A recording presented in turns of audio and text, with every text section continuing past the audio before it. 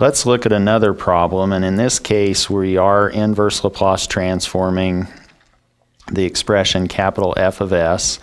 It's not only improper as a transfer function, but we also, if you can see, maybe it's not obvious, but this denominator polynomial actually has complex roots.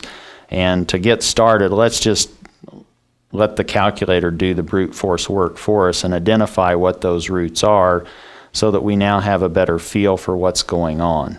If we just look at the denominator as a polynomial, we can actually use the function in our calculator C zeros for complex zeros.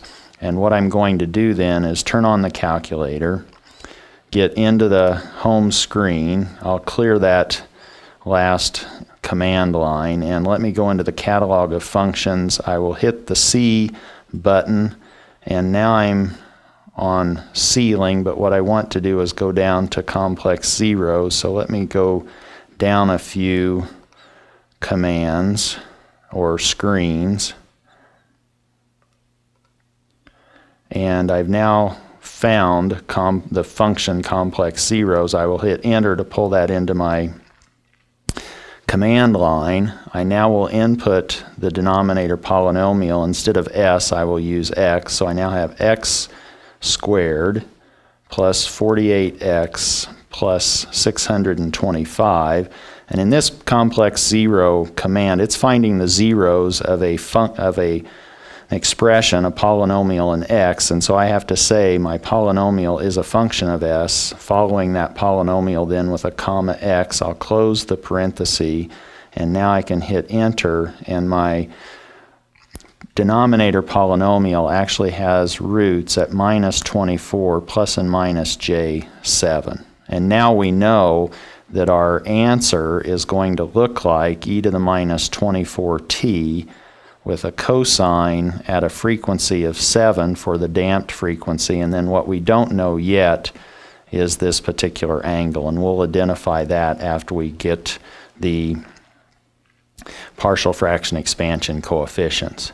But before we can do that, we actually need to convert this capital F of S to where we have a proper piece identified. And we can then go with our calculator and do this proper fraction operation. And let's then do that. We now, let's clear the command line. I will go in and go down to the P and go up one. Now there's my proper fraction. What I will do is I will input the numerator polynomial 10x squared plus 512x plus 7186 and divide that by the denominator, which is x squared plus 48x plus 625, and close that proper fraction, hit enter, and now I have my f of s as 10 plus the expression 8 times 4s plus 117 all over s squared plus 48s plus 625. If you were looking at the previous video, you might have seen that I used the factor operation on this proper factor form or proper fraction form that actually now has complex roots, so I can't just use the factor. I actually has, have to use the complex factor or the C factor function in the calculator. Let me do that. I'll clear that input line. I will go up and grab the total expression, capital F of S, and hit the enter key. I need to get rid of that 10 piece. Let me now go to the far left by the second left arrow and find I have the complex factor somewhere hiding by the C's. Let me go down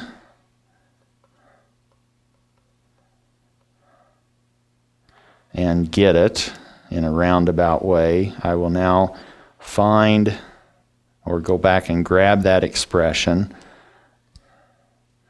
I now have the complex factor expression in the calculator, and what I need to do is I now have a, I want to fit it to k1 over s plus 24 minus j7 plus a k1 star over s plus 24 plus j7.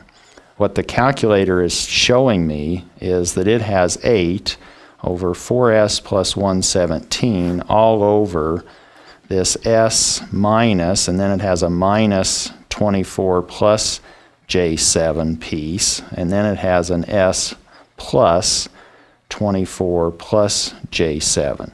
What I'm going to do in the calculator is actually effectively multiply through by this particular factor and to do that, I'm really going to just go in and cut that out, and then I'm going to evaluate this resulting expression at the value s equal to minus 24 plus j7. Let's see if I can do that. So I'm going to clear this input command line. I'm going to go up and grab the result and enter that.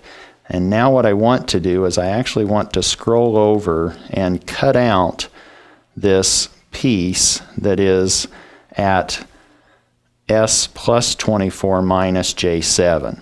And to do that, I'm going to lock on my highlighter. So there's the up arrow key and scrolling over with the left mouse, or left cursor, I should say.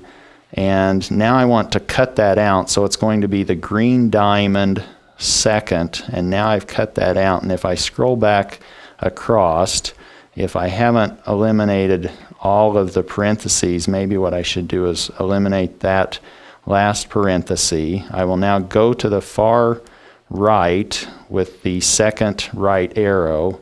And what I want to do is now evaluate that expression when x is equal to minus 24 plus j7. So that's this vertical bar, that's the width, and now I will say x equal to minus 24 plus I7 and hit enter. And that now tells me that K1 as a coefficient is equal to 16 minus 12i. And I can actually find that in polar form if I want to. Let me clear the input command line. I will now grab that result, go into the catalog of commands, and find my polar, which is basically at the bottom of that first screen. And now I'll do a green diamond enter to obtain that this is now 20 in magnitude at an angle of minus 36.87 degrees. That now allows me to say that I have the following expression. I now have capital F of S equaling what I factor down initially 10 plus these other two pieces. I have 20 at an angle of minus 36.87 degrees over S plus 24 minus J7 plus a, its conjugate 20 plus 36.87 degrees over S plus 24 plus J7. I can now write down the time domain expression for little f of t, that's 10 times the impulse, or an impulse weight with a weight of 10. And now I need to simply double this magnitude. So I now have plus 40. The e is going to be e to the minus 24.